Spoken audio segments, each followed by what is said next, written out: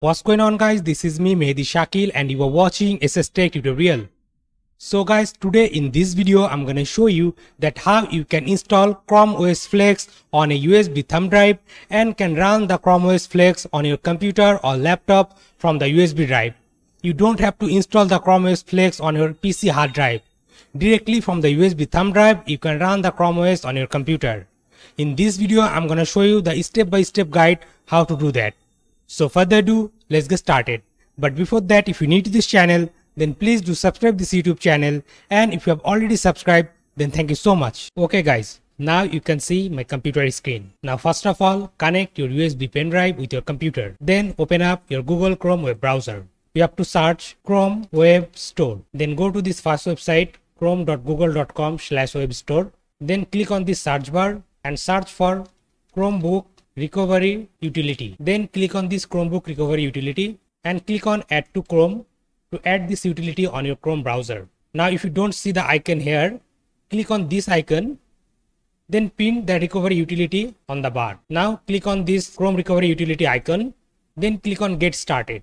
Then after that click on select a model from a list then click on select a manufacturer. Then scroll down and select Google Chrome OS Flex. Then click on select a product and select Chrome OS Flex.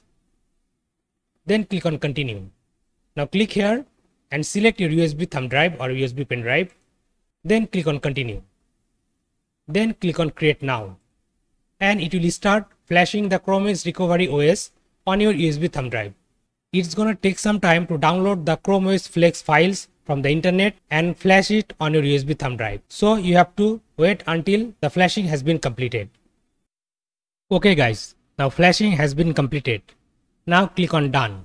Now you can close your Chrome browser and can restart your computer. Then you have to boot into your BIOS and disable the secure boot.